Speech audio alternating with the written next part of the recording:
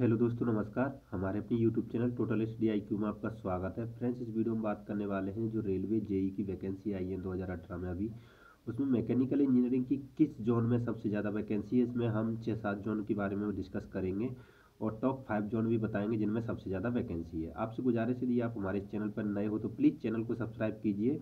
Subscribe करना बिल्कुल free रहता है। इससे आपको कुछ नहीं जाता, लेकिन हमारा मनोबल बढ़ता है और वीडियो अच्छा लगे तो प्लीज़ लाइक भी कीजिए। तो आइए दोस्तों बात करते हैं। इसमें मैकेनिकल इंजीनियरिंग की जॉबों के बारे में बात करेंगे। और भी जो सिविल ये ईसी और इलेक्ट्रिकल के मैंने वीडियो अपलोड कर दी है, वो भी आप देख लें, ठीक है? तो दोस्तों, देखिए, भोपाल में है एक सौ इकतीस वैकेंसी इलाहाबाद में 400 वैकेंसी ये फ्रेंड सेकेंड नंबर पर है जिसमें सबसे ज़्यादा वैकेंसी है।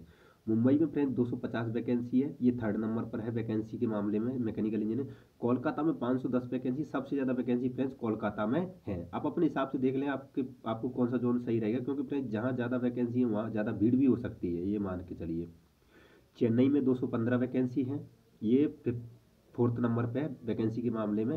रांची में फ्रेंड्स 136 वैकेंसी है, ये फिफ्थ नंबर पर है, और सिकंदराबाद में 121 वैकेंसी है। फ्रेंड्स सब, फिर से मैं आपको बता दूँ, सबसे ज़्यादा वैकेंसी कोलकाता में, उसके बाद इलाहाबाद में, उसके बाद मुंबई में है, उसके बाद चेन्नई में है, और रांची में है, और सिकंदराबाद। और भी जोन में आप देख सकते हैं, लेकिन सबसे ज़्यादा वैकेंसी ये मैंने दे दी है, लगभग तीन चार चार पाँच जोन है, इनमें सबसे ज़्यादा वैकेंसी है। आप इनमें से कोई भी भर सकते हैं और साथ ही साथ फ्रेंड और भी हम वीडियो प्रोवाइड कराएँगे। प्रीवियस ईयर के कट ऑफ़ किस जोन का, कितना का कट ऑफ़ रहा था।